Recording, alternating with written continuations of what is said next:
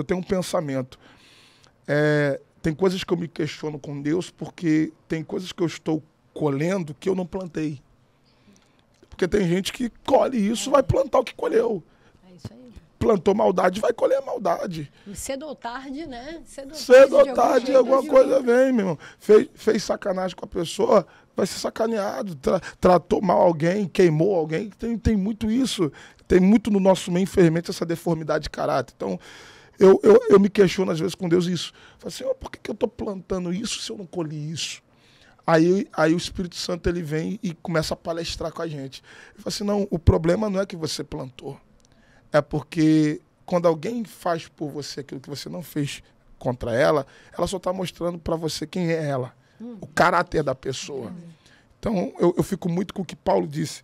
A nossa luta não é contra a carne, é contra o sangue. Isso aí. Se você me perguntar, Renan, você tem raiva, você tem ódio, você tem rancor de quem fala mal de você? Absolutamente nenhum. Não guardo isso aqui. Por quê? Porque minha luta não é contra eles. A minha luta é contra demônios, contra o diabo que luta todo dia para matar a gente. Então eu, eu, o Renan, e eu sei que a Thalita também tem isso, a gente não guarda raiva, rancor. Se falar, é só mais um que tá falando e, e a vida que segue. segue o jogo.